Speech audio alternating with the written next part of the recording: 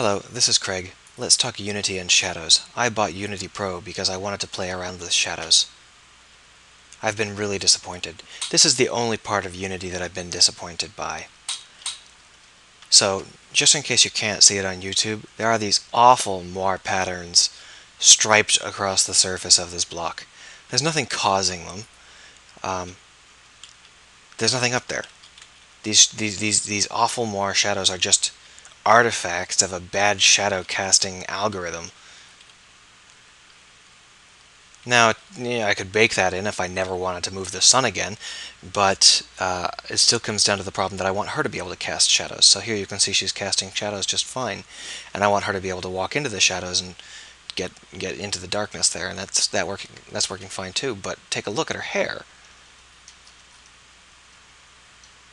That's awful. Look at that. That's unbearably horrific. It's it's like every quad is being calculated to be stippled with a different nasty, stupid uh, moire pattern. Why would you ever do it like that? Now this is the highest possible settings.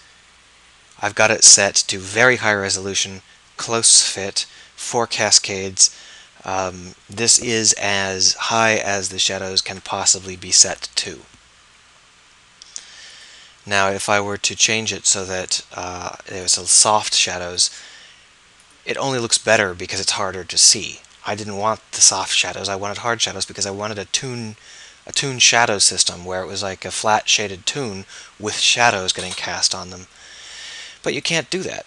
Um, now you can make it so that the hair doesn't actually receive shadows. So for example, we can go ahead and turn off receive shadows. And now you see the hair still casts shadows on her body, that works fine, and it still casts shadows on the ground, and everything seems to work. Oh, no, wait, it glows in the dark because it's no longer set to receive shadows. So, there doesn't appear to be any way to fix this. This is just the way it is. Um, if there's any way to fix it, I'm not aware of it. Uh, I looked online at several kinds of tutorials no one else seems to be complaining, and I think it's because no one else fucking owns Unity Pro. and her body is um, using a standard diffuse.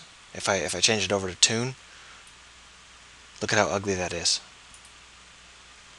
And it's actually just as ugly on diffuse toon, Uh, or sorry, it's just as ugly on diffuse as it is on toon. It's just that the diffuse shadows has a couple of, of uh, areas that, that have shading across them due to the normals, and, uh, and that softens the blow of the horrible shadows being cast.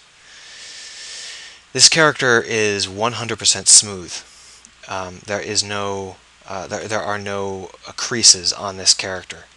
So why are there creases on this character? Why are there creases in the hair? The hair is 100% smooth. And if you don't believe that, I can show you by simply turning off the light. Um, oh, sorry, I don't want to turn off the light, I want to turn off the shadow. So here it is with no shadows, right?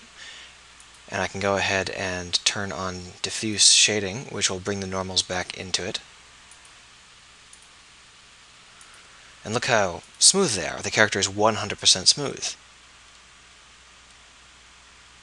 But unfortunately, the character doesn't have any shadows being cast on their face from their hair. Doesn't have any shadows being cast on their shoulder from their head. Um, it's just not as nice. And of course, there's no shadows being cast from the walls. So in short, I've been very disappointed by the shadows. There's no way to make them work right. They're just awful. Um, tremendous disappointment if someone knows of how to fix that problem, uh, I'd be happy to hear it. Uh, I'm, I'd be very happy to be happy with Unity again.